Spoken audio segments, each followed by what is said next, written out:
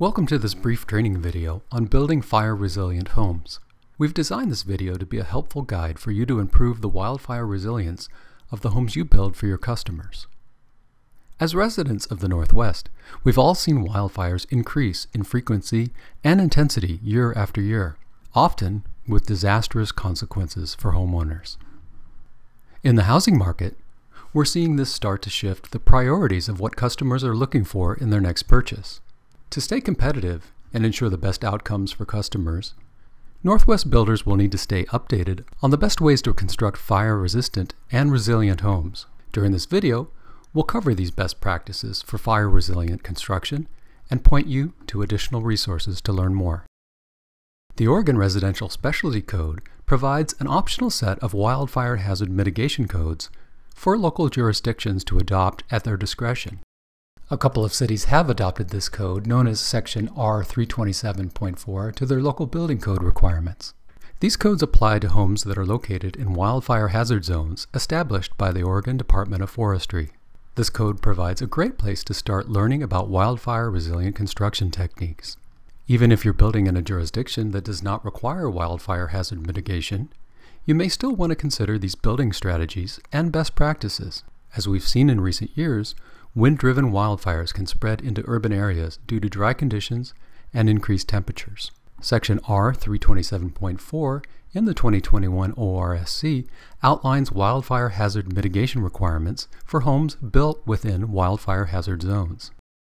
Some of these requirements include roofing and gutters must be made with non-combustible materials. Attic ventilation requires the elimination of attic vents on the bottom of a soffit if it is 12 feet or less from soffit to grade.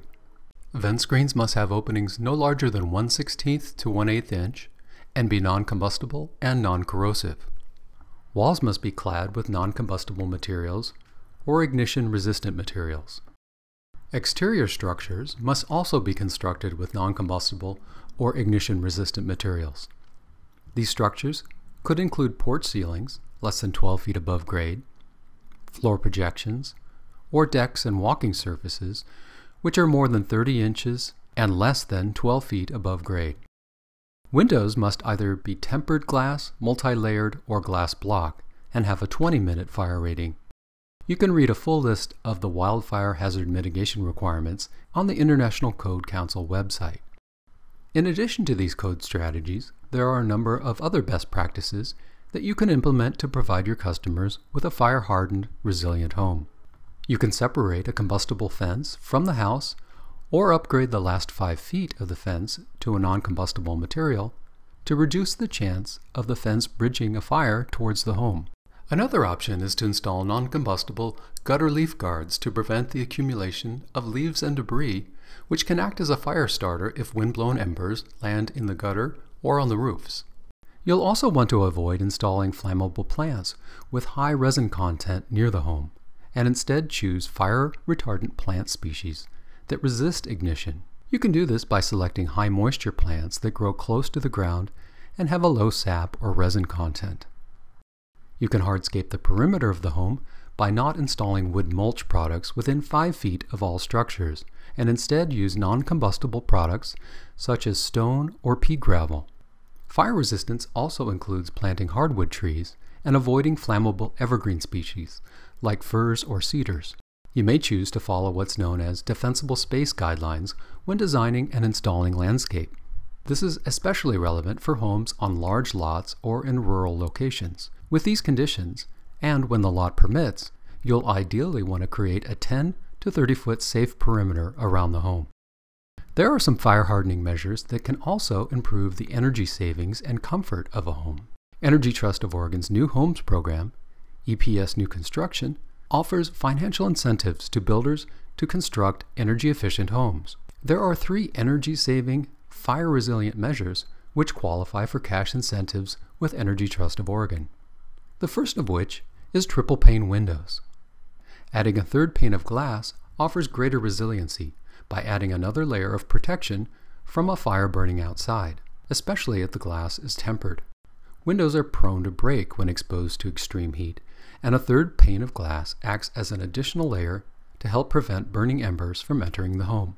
Homeowners will also appreciate the added energy efficiency benefit provided by triple pane windows and the fact that they help create a quieter home by keeping outside noises to a minimum.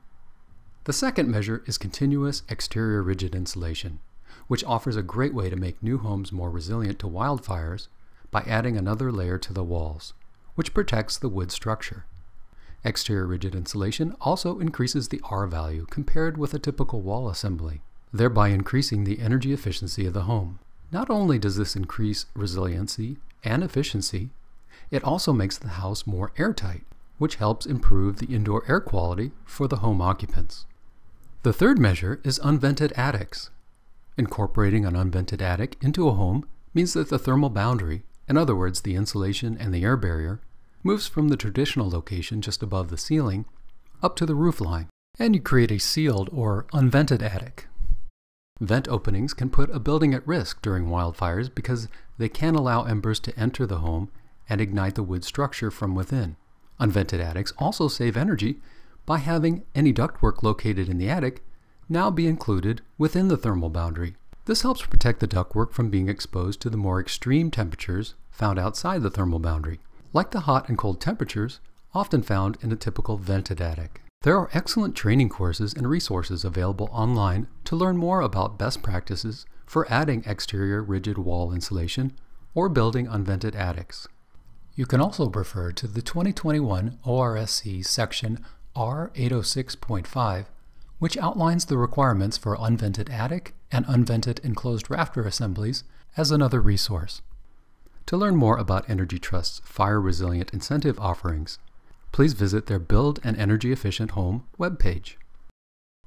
There are opportunities to help homeowners and businesses incorporate some of these fire hardening measures. One is a grant program created by the Oregon Legislature. House Bill 5006 provides grant money to incorporate fire hardening improvements for rebuilding homes and businesses which burned during the 2020 wildfires. Visit this Building Codes Division webpage to learn more. Another opportunity for rebuilding after the 2020 wildfires is the Energy Efficient Wildfire Rebuilding Initiative, available through the Oregon Department of Energy. Depending on when the home was originally built, different historic building codes apply to the rebuilt structures. Cash incentives will be available for homes rebuilt with higher levels of energy efficiency than was required by the applicable historic code. Please visit this Oregon Department of Energy webpage to learn more details. You'll find links to all of the resources mentioned in this video in the description below. Thank you for joining us for this video on building fire resilient homes. We hope you've gained some valuable information and we encourage you to explore additional Earth Advantage training opportunities